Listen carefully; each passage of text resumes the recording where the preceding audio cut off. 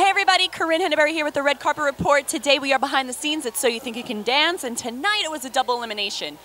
I don't know who went home, but we're going to talk to everyone and find out. Congratulations, you are a star beyond stars. Truly, especially tonight. I, was very happy to um, to see the end result of a uh, an interesting journey because uh, Ruby she's a ballroom dancer and Paul so you you think then things gonna go super smooth and super easy no you put a very elevated routine because in ballroom dancing they're not allowed to do lift when they compete now you stack it up with with lifts and they take it and they they really brought that piece like to the sky i'm so happy with that and Ruby shining in that ruby yeah, outfit. Exactly. she was uh, my little uh, Katniss. Uh, what was there? I mean, like you said, they are so talented. What was their their cha biggest challenge as a pair? As a pair is uh, the, all the transition of the lifts because um, Ruby have all that energy, but once again, she used to dance both feet on the ground. Right. Now, when you're up there and you have the same amount of energy, Paul really have to control contain all the, contain all this. But you know what?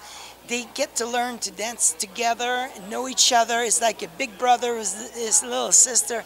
They amazing together. They're so beautiful. Where does where do most of your ideas come from? Is it just at home? You know what? In the middle of having dinner? Yeah, they... yeah pretty much everywhere and anytime. But for me, the most, the important thing, the motivation comes from the music. If you like first of all you commissioned to do either uh, cha-cha rumba whatever. Now this week it was a, a, jive and a paso doble. So i'm start looking at music and if i found the right music i start to see images in my head and that's what drives the creativity. Exactly because those beats you know just the, I can be more uh, more respect for a composer, people create music because for me it's the essence of a choreography.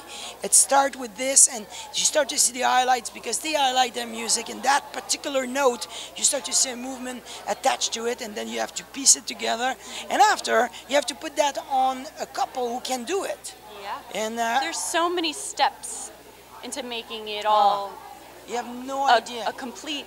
Yes. To successful get to Monday package. Night, to get to Monday night, oh my God, it's a quest. And it's the quest. It's the quest. So, can I ask one more question? Yes, As a choreographer, what what length of time do you allow for yourself? I know you're under strict deadlines, especially when when dealing with a, a live show, yes. a live taping. How much time do you get to give yourself to really allow it to marinate and come to life? Oh, sometimes you have no time because you, you know, it's a little complex because you pick a music that it needs to be cleared. That's and, one step. Yeah, yeah.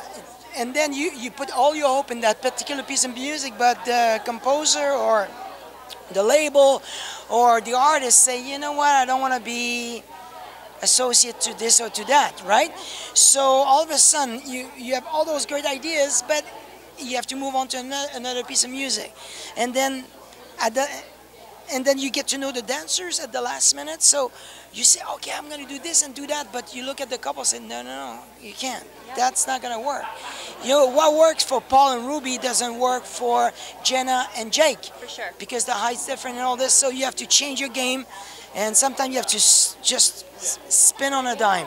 Isn't that the biggest life lesson we can take, y'all? Yes. Adaptation. Yes, absolutely. That's what we have to deal with. Well, yes. congratulations. Despite so all the changes, you really pulled through tonight. Thank you so much. Thank you.